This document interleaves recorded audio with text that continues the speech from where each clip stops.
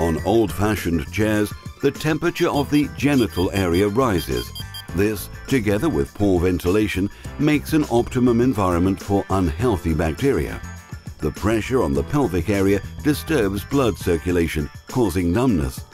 The gap in Salli chairs removes the pressure, thus benefiting sexual health.